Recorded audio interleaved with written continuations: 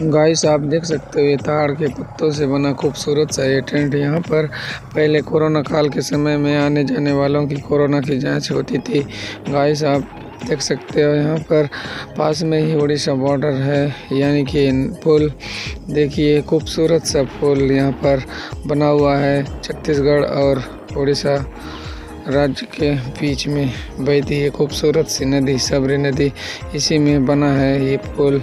देखिए गाइस यहाँ का नज़ारा बहुत ही खूबसूरत है। हाय गाइस कैसे हो आप सब? बढ़िया होंगे। माया लोग channel S V N zero seven में आप सभी का फिर से एक बार स्वागत है। गाइस आप मेरे पीछे देख रहे हो, इधर दोरनापाल है और सामने उस पार उड़ीसा है, जो कि दोनों राज्यों के बीच में बना ये खूबसूरत सा पुल। और दोनों राज्यों के आने जाने की भी इधर से बढ़िया ही सुविधा हो चुकी है। पहले तो इधर आने के लिए भी इस पार से उस पार जाने के लिए तकलीफ़ होती थी।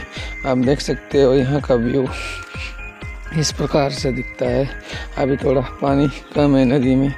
ये आप देख सकते हो ये सबरी नदी है, जो कि सुखमय ज़िले की प्राणदायिनी नदी है।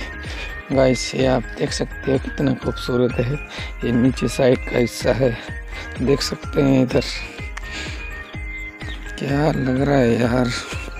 मज़ा आ गया फूल।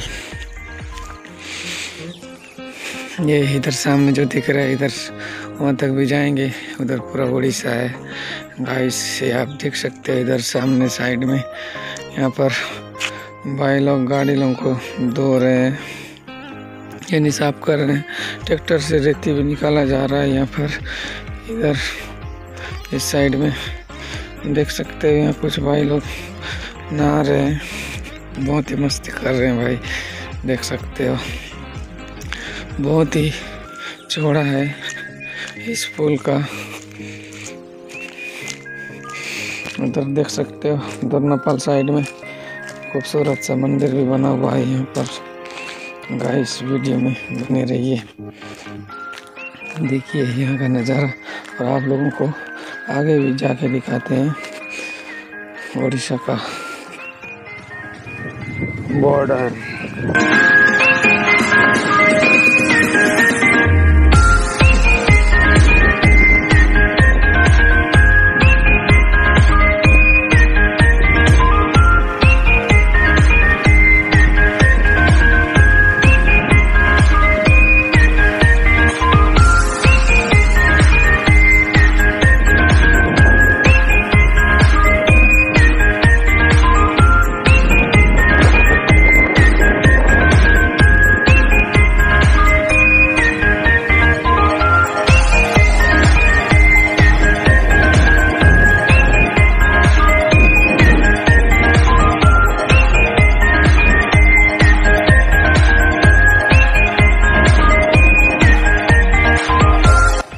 गाइस, ये आप देख सकते हो पुलिया के जस्ट ही बगल में पूरा बॉर्डर है। देखिए welcome to Orissa by Kalimela forest range Malkangiri forest division आप देख सकते हो यहाँ पर उड़ीसा गवर्नमेंट का बोर्ड लगा हुआ है। गाइस, ये देखिए, यहाँ से जयपुर मलकानगिरी मातली काली मेला भी जा सकते हैं।